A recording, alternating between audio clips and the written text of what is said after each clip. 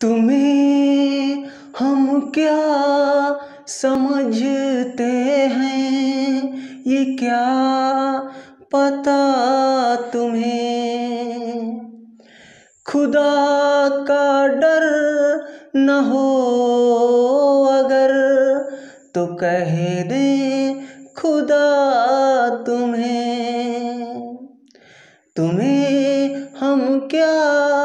समझते हैं।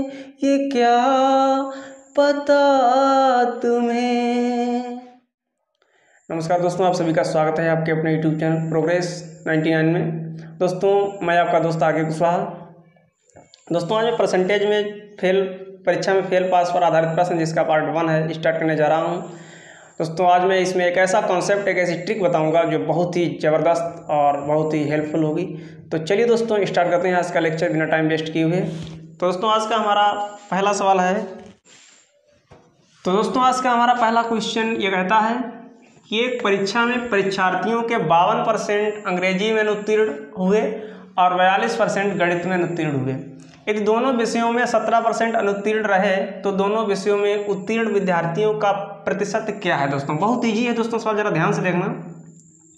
दोस्तों, यहाँ पर बावन परसेंट इंग्लिश में दोस्तों। तो हमने ये इंग्लिश का एक सर्किल बना लिया। इंग्लिश ई मतलब दोस्तों इंग्लिश। इसका दोस्तों परसेंटेज कितना है? बावन परसेंट। अब दोस्तों क्या है कि ये कहता है कि दोनों विषयों में सत्रह परसेंट अनुत्तीर्ण हुए। जब भी कभी दोस्तों ये बात आए क्वेश्चन में कॉमन वाली बात है। दोस्तों दोनों विषयों में उत्तीर्ण। चाहे दोस्तों उत्तीर्ण हो तो हमेशा जब भी दूसरा सर्किल खींचना तो दोस्तों पहले वाले सर्किल को कट करना चाहिए, क्योंकि ये दोस्तों ये वाली एरिया कॉमन को शो करती है दोस्तों वह निष्ठ अब दोस्तों, ये फ़र्स्ट मैथ हमने बना दिया। अब दोस्तों, ये मैथ का परसेंटेज कितना है? बयालीस। अब दोस्तों, ये भी डाटा इंग्लिश का डाटा दोस्तों क्या है? इंग्लिश में दोस्तों फेल यानी अनुत्तीर्ण दोस्तों मैथ में फेल यानी दोस्तों अनुत्तीर्ण और दोस्तों, ये दोनों को शो कर रहा है, और दोनों का दोस्तों परसेंटेज क्या है? सत्रह। बस दोस्तों लग गया सवाल, कुछ नहीं। अब दोस्तों ये भी सत्रह परसेंट क्या है? फेल। मेरे प्यारे दोस्तों, एक चीज़ याद रखना। सिर्फ़ आपको ये देखना है, हर एक सवाल में कंडीशन देखनी है कि अगर ये सब पूरा डाटा फेल का होना फेल का हो या दोस्तों पास का हो। यानी फेल फेल यहाँ पर भी दोस्तों फेल हो। अगर दोस्तों पास पास अगर दोस्तों यहाँ पर फेल है तो इसको भी दोस्तों पास बना दो। पास दोस्तों कैसे बनाओगे? आप सौ में से ये परसेंटेज घटा दो पास बन जाएगा। दोस्तों, यानी ये सब डाटा एक जैसा होना चाहिए। फेल का है तो पूरा फेल का होना चाहिए और पास का है तो दोस्तों पूरा पास का होना चाहिए। बस दोस्तों, लग गया इसमें कुछ नहीं। दोस्तों, अब क्या करेंगे हम? इसको और इसको हम ऐड करेंगे, सत्रह माइनस कर देंगे दोस्तों। जरा ध्यान से देखना। जब ऐड कर रहे होंगे तो हमें मिलेगा दो और दो चार, पाँच और चार नौ। चौरानवे परसेंट अब दोस्तों माइनस कर दो सत्रह परसेंट जब सत्रह परसेंट दोस्तों माइनस कर रहे होंगे तो कितना बचेगा? सात और यहाँ दोस्तों आठ आठ, एक, यानी सात। दोस्तों, सतहत्तर परसेंट दोस्तों, सतहत्तर परसेंट क्या है? फेल क्या है दोस्तों? फेल अब दोस्तों एक चीज़ पता है कि विद्यार्थी अपने खुद में होते हैं हंड्रेड परसेंट। हंड्रेड परसेंट विद्यार्थी अपने खुद में दोस्तों, समझो, होते हैं, यानी पास होते हैं। अब दोस्तों, हंड्रेड परसेंट में से दोस्तों सतहत्तर परसेंट हो गए, फेल। तो पास कितने परसेंट होंगे दोस्तों? सीधी सी बात है दोस्तों, यानी अगर सतहत्तर परसेंट फेल हो रहे हैं तो दोनों में पास, दोनों में पास। दोस्तों कैसे निकालेंगे? सौ माइनस सतहत्तर। सौ माइनस सतहत्तर दोस्तों। अब माइनस कर दो, दोस्तों, आंसर आ रहा होगा, दस में सात, तीन। और नौ से सात दो, यानी तेईस परसेंट। यही दोस्तों हमारा आंसर। दोस्तों, ये वाला डाटा निकालने के बाद सतहत्तर परसेंट फेल है और पास कितने दोस्तों होंगे? सौ माइनस सतहत्तर, सौ में से दोस्तों माइनस कर दो।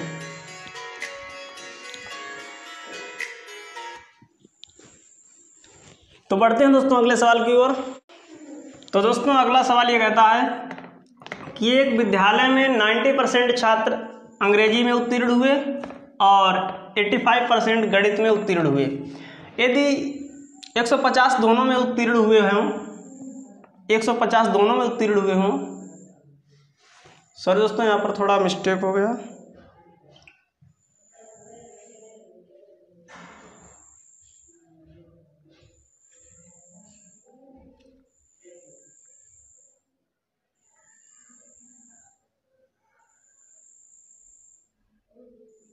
एक सौ पचास दोनों में उत्तीर्ण हुए हों फिर क्वेश्चन आगे कहता है दोस्तों।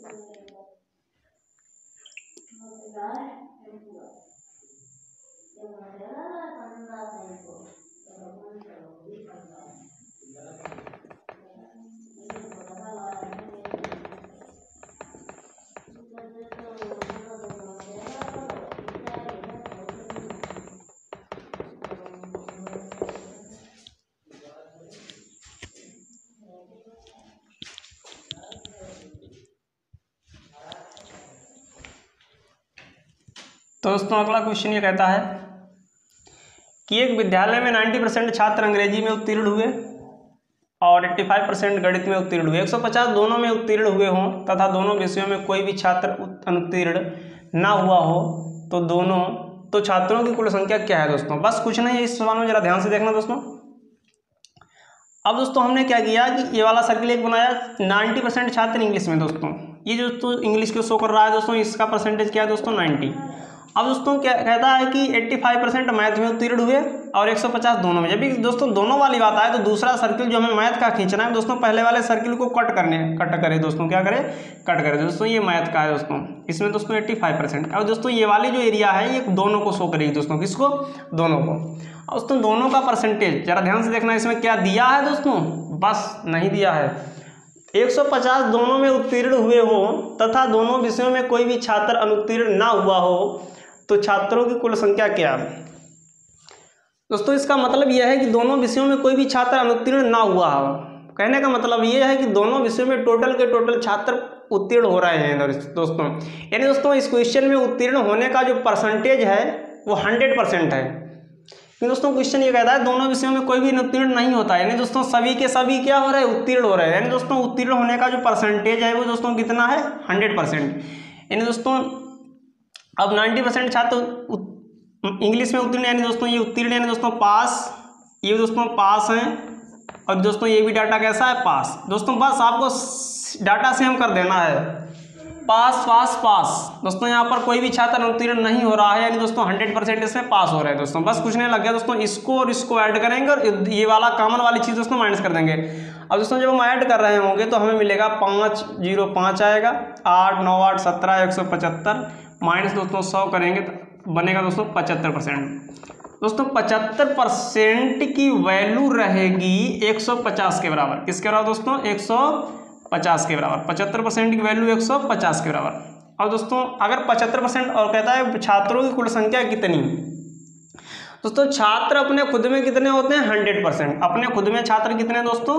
हंड्रेड परसेंट अब दोस्तों, अगर पचहत्तर परसेंट की वैल्यू एक सौ पचास तो यानी हंड्रेड परसेंट क्या होगा दोस्तों? हंड्रेड परसेंट कैसे निकालेंगे? जरा ध्यान से देखना।